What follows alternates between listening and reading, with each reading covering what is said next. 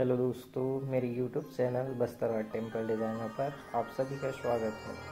आज हम घुम्मच के चौथा पार्ट में कुछ नया करेंगे जो घुम्मच के चारों ओर कुछ यूनिक बनाने की कोशिश की है। आप लोगों को पसंद आएगा तो लाइक एंड सब्सक्राइब कीजिए। बाकी वीडियो को एंजॉय कीजिए। Thank you